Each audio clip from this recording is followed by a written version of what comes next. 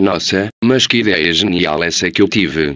Colocar câmeras na casa dos outros só para descobrir o que zoar nas pessoas foi mesmo um golpe de mestre. Vamos ver o que de importante as pessoas estão fazendo nesse momento. Olha só, a mãe da Janine gosta de ficar limpando o salão e passar nos móveis, interessante. O Jorge usa uma cueca rosa com florzinhas roxas, eu tenho uma igual. Epa! Quer dizer, mas que bichona capa capa capa capa capa capa capa. Ora ora, a Rosinha tem uma perna cabeluda, vou tirar muito o sarro dela com isso.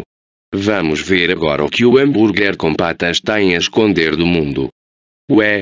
Ela tá só olhando para a câmera que eu botei, que estranho. Agora ela saiu, para onde será que ela foi? Porque você não adivinha troll? Fudeu.